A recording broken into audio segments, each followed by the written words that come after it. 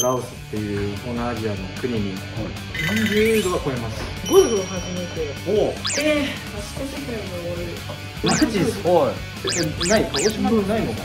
これ究極や究極。いろんな孝太郎がいるチームには負けたくないなって思うあの選手と5年宮崎で一緒にやっててなんかマッチアップして負けたくないなっていうんでシーズン終了した時にみんなで笑って終われるように頑張りたいと思うので応援よろしくお願いします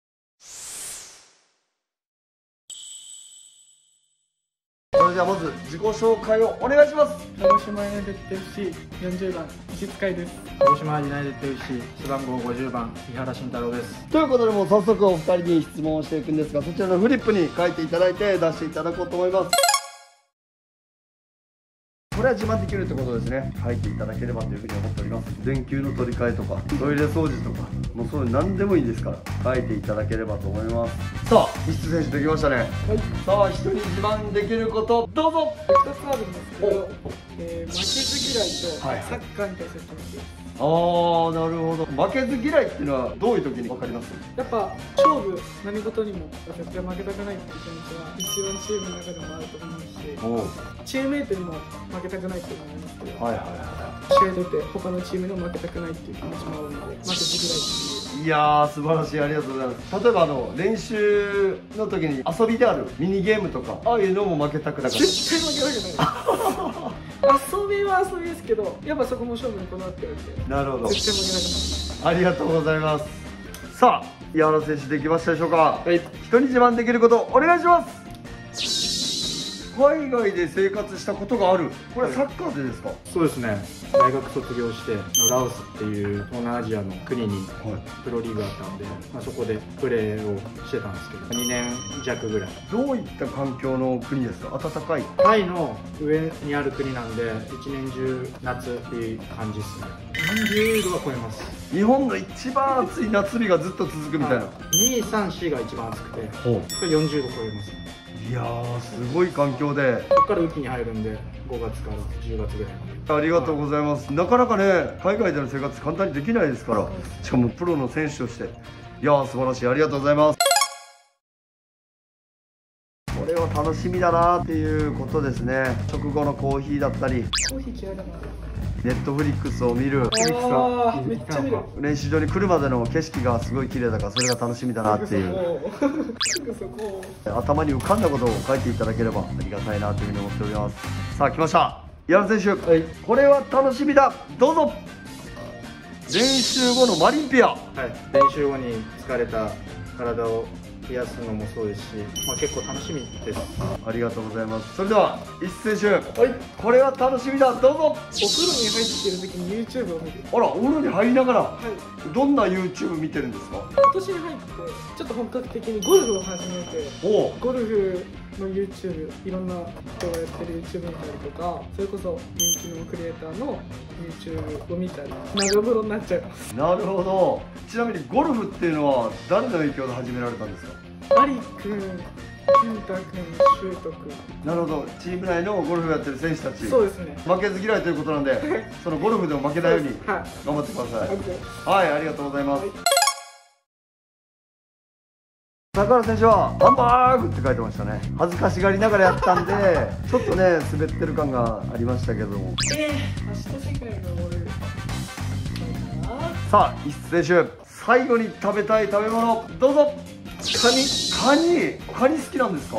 カニ好きです。えめちゃえめちゃ好きですカニは。どういった食べ方が好きですか？しゃぶしゃぶはいはいはいはいはい。でポン酢につけて食べるのが一番好きです。なるほど。本来の味を楽しみたいとそうです。ありがとうございます、はい。さあ井原選手最後に食べたい食べ物どうぞ。辛麺松本。はいこの辛麺松本っていうのは？あの宮崎のはい。こんにゃく麺でなんかあるんですよ。いろんな辛麺屋あるんですけど、はいはいはい。僕的には松本の辛麺が一番好き辛麺って僕初めて聞きました。なんでマジですか？はい。宮崎で有名なんじゃないですか？もしかしたら。ない鹿児島にないのかな？ないないないと思う。あじゃあ松本っていうお店の？辛麺が食べたいです。えー、じゃああのアウェーでねサポーターの方行かれたりしたらぜひねそうですね。食べて食べる機会ありますから、は食べていただきたいですね、い、はい、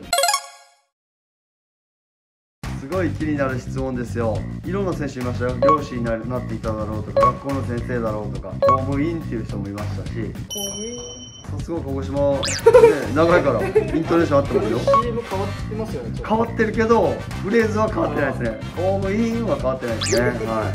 俺も最初見ちょっと変わって。たやっぱびっくりするんですよねあれはね。さあ井原選手ができましたかね。はい。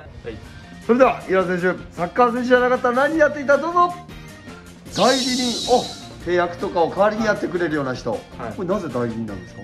海外に行ったこともあって代理人の重要性ってすごい日本にいるよりも感じれた部分あるんでなるほど。いろんな選手を見たいっていうのもあるし自分次第で自分が行けなかったとこまで自分の持ってる選手を行かせることによってなんかその見れなかった景色とか見れるからちょっと興味あるなるほど。サッカー選手終わってセカンドキャリアで代理人になってる井原さんを見れるかもしれないですよね。それでは石津選手お願いします。どうぞ。意外だと思うんですけど。保はいはいはい。育園の先あらこれなぜ保育園選手なんですか？生いやもうされた通り子供めちゃめちゃ好きで。おでもサッカー選手なかったらもう保育園の先生しかなかったんじゃないかなって。おおそんなん言い切るぐらい。はい。本当に子供好きなんで。保育園の先生かなって思いますえじゃあお散歩してその辺歩いてる幼稚園児とか保育園児いたら絡んでしまいあ買います買います。サッカーたまに公園とかでやってたりしたらボール渡してあげたりとか一緒に蹴ったりとか。えー、急にもう飛び入りで入っていって一緒にやろうぜみたいな。ははえー、すごい。公園でサッカーしてる子供たち待っててね。はいありがとうございます。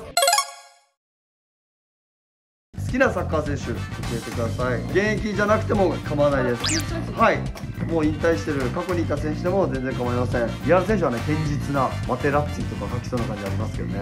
はい。プジョルとかですかねもしかしたらね。じゃあ石津選手この選手好きやわどうぞ。えー、2人います。お二人小笠原光雄さんとはい。アルビレックス新潟の本間翔はいはいはいはい。小笠原選手は背番号も同じにするぐらいそうでアントラーズユースの時にそうですユースの時に。トップにいらっしゃってっはいていう話をね去年もしていただきましたもんね。その本間選手は本間選手を見たのが自分が中学生かぐらいの時に JS カップかなんかではい。高校1年生で高3の試合出ててもキレッキレで3人ぐらい抜いてゴールぶち込んでうはい。この選手すごいなーと思ってて J リーグたまたま見てたら面白い選手がいてあこの人だってなって身長も多分俺とほぼ同じぐらいであこんなに俺と同じ身長だけどこんだけできるんだっていう、まあ、勇気ももらってましたなるほど。そんな選手みたくなりたいなっていうふうに思って。えー、すごい。じゃあ影響を与えた選手の一人と。そうです、はあーありがとうございます。さあそれでは井原選手この選手好きやわどうぞ。メタさんあれこれはもしかして今テゲバジャールはい。宮崎のコーチをしてる鹿児島城西高校初の J リーガーですよ。なんでメタさんなんですか？一緒に2シーズンやったんですけど目立たないけど絶対チームにはいるっていうか。まあ人間性もすごい人柄もいいしこういうベテラン選手になりたいなっていうのもあってそう影響を受けたんで好きっすねええうちのチームで言えばあの中原修斗選手とか木村選手に近いようなポジションプレーヤーですね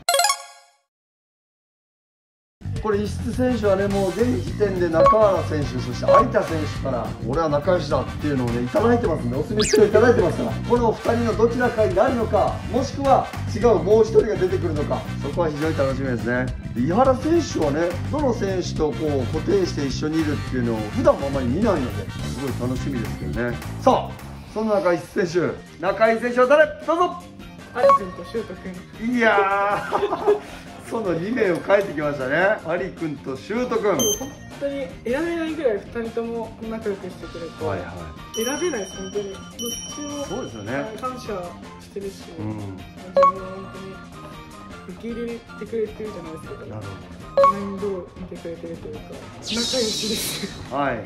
そんななんか申し訳ないんですけど、えー、有田選手そして中原選手崖から落ちそうになっていますさあもう助ける時間は1人しかありません。そうなった時にどっちを助ける？これはねもう口頭でいいので教えてください。どっちも助けたい気持ちは山々なんですけどいろんなことを考えた上でどっちを選ぶか。これ究極だ。究極。選べないけど選べないけどはい。それではどちらを助ける？どうぞ。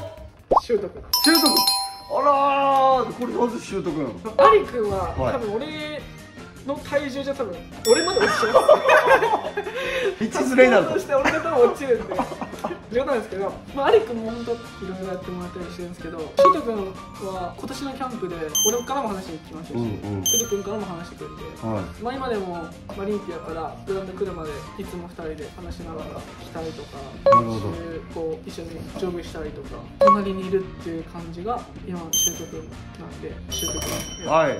ありがとうございます。有田選手はね性格的にも分かる人なんでそういうところ受け止められる方なんで ごめんなさい。ですごめんなさい。言われる方がきついかもしれない。ありがとうございます。さあそして井原選手。さあ一番仲良しどうぞ。勝川敦樹選手、さなぜ薩川選手これこれちょっと意外なところですね。いや意外に仲良くて LINE とかします。えー、ですか？うん。これチーム内で LINE するっていうまあ仲良しですね。どんな LINE するんですか？暇な時とか、はまあ、僕からなんですけどね、はいはい。僕が暇な時に例えばなんか画像見てるとか送って。あ自分がやってることを報告するわけですね。見てるなんか僕が暇な時にあつきに今何してんのとか。おおもう彼氏彼女関係的な送っておお LINE たまにやり取りするんですよ。はいはいはい。なんかオフ分けとか久しぶりに会った感じしねえなって言われます。おおそれでも仲いい証拠ですね。あということで薩川選手。ええー、すごい。ありがとうございます一つ挙げてください。これはね古巣、えー関係があった選手監督がいるチームあとはこういろんな有名選手がいるからとかそういうのもいましたね。鹿島アントラーズとかなしで お願いできれば助かります。そうなんかできましたはい。お石津選手ここには負けたくない。どうぞ。